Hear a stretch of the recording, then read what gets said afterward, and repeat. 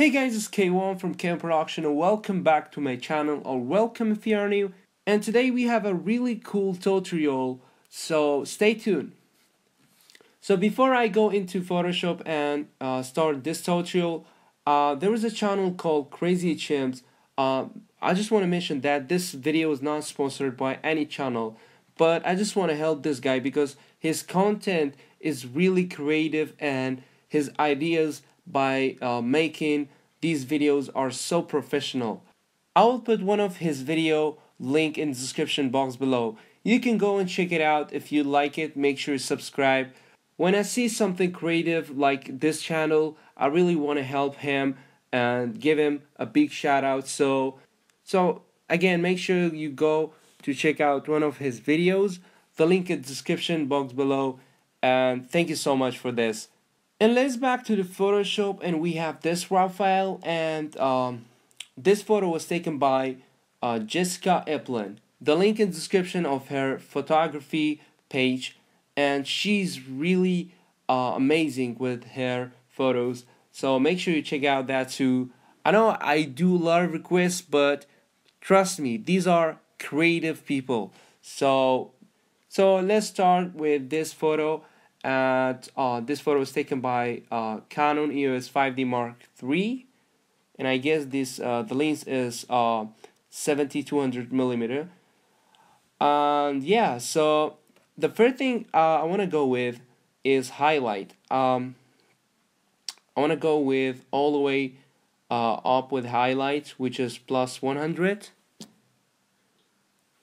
then after that I want to just add some shadow to bright up the image a little bit around like 40 plus 40 I think that's good.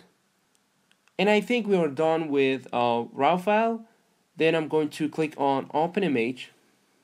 Okay so after opening my image I will go to duplicate my background. As you can see there is a background copy here. Okay so the next thing we are going to do we have uh, adjustment and then we have hue saturation. Now what I'm gonna do with hue and saturation I'm going to choose the green color. So basically I'm going to change the green color to something uh, like autumn color. And that's kinda will give this photo a really cool dramatic effect. So I'm going ahead and bring down the uh, hue around minus 35 or 36 and then I'm going to click one of these uh, but make sure you don't click on the third one. Uh, you can able to choose the color with the first and the middle one which is uh, the middle one you could choose um, more than one color. So I'm going to click here and that's it. Uh, I think that's it. As you can see I choose the, the green color. It, uh, it will automatically uh, change the whole green color to autumn color. So that's it the next step we have, uh, I'm going to adjustment again, we have curves. I really love using curves when it came to uh, any photos, any kind of photo. So I'm going to create three point here. One of uh, one of the the point is we're gonna be here, and one of it is gonna be in the middle one, and one of here but I'm not gonna change that too much. I think that's it. Just bring up uh, a little bit this point. When uh, when you bring up this point as you can see uh, it will automatically give us matte effects. As you can see uh, more you bring up the this point more you get matte effect. So I'm not gonna add too much uh, effect so that's cool. So I think that's it and I'm gonna close it. You can see the different. And then I'm going to adjustment again uh, brightness. Add some brightness around 7 around or 10 that's gonna be good. Then I'll go to adjustment again. This time I'm going to solid color. I'm gonna click on the black color then I'm going to click OK. Then I'll bring down the opacity around something like uh, around 25 percent.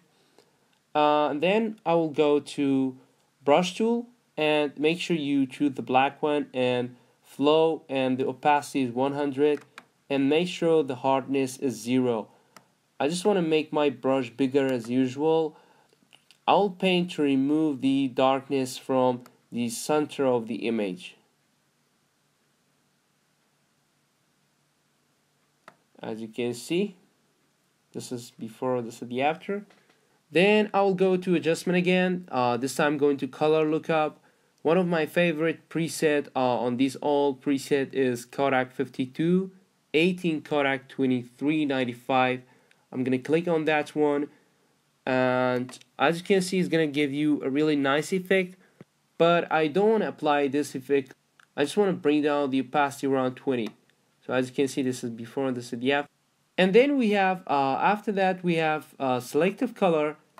In selective color we have a bunch of color. You can uh, basically control uh, this color with um, was change these slides uh, and uh, what I'm gonna do I'm going with red and add a little bit of the cyan around um, around uh, 20 plus 20 and then bring down some black around like uh, 7 plus 7 then I'll go to click on yellow.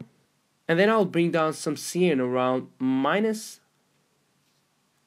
19 and then add some magenta around plus 20 and then bring down some yellow around minus 10 so as you can see it's not a really big difference but as you can see it's gonna really uh, improve your color uh, when it's come to selective color. Okay so then we have uh, adjustment again brightness and contrast. I just want to add some contrast around 20 that's gonna be good. And then I'll go to um, gradient filter and I'm going to choose the black one. Then I'll click OK. Then I'll go and click on reverse which is I want to add uh, some black vignette to the um, top of the image. And then I will go to click OK and then bring down some opacity around 50 and then click on the layer mask. Then I'll go to gradient tool make sure it's black and white. Click OK. And just slide it up just like this so as you can see. So you cannot apply the darkness on the uh, center of the image. Then I'm gonna play with uh, a little bit of levels as you can see. Uh, so basically you can control the uh, black area and white area in levels and that's something cool I guess. So as you can see if you if, I bring down this there will be more darkened color. If I bring up this there will be more uh, brightness color. So I'm just gonna bring up uh, this a little bit. Add some of the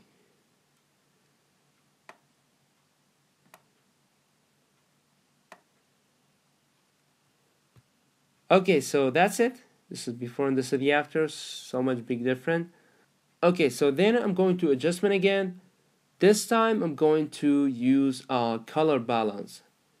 Now there is a technique which is uh, very cool on color balance. Now if you have a red color in your uh, in your photo, it's good to add some opposite color which is the cyan.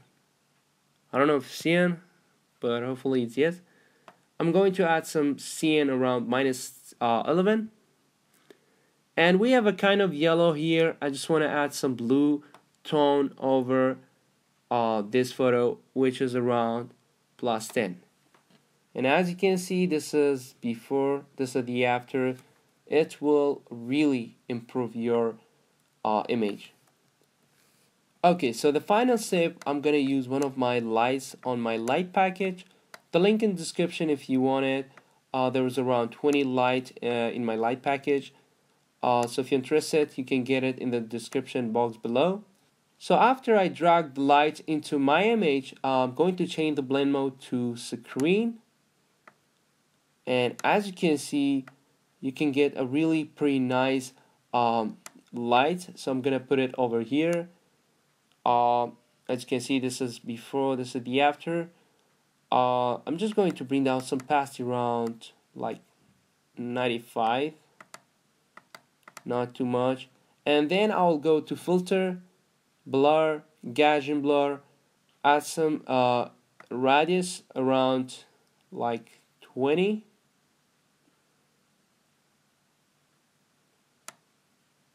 um, then I will go to click OK okay so that's it guys. Uh, I hope you like this tutorial if you like it make sure you thumbs up. And if you are new in this channel make sure you subscribe for more upcoming tutorial and see you next time and have a great day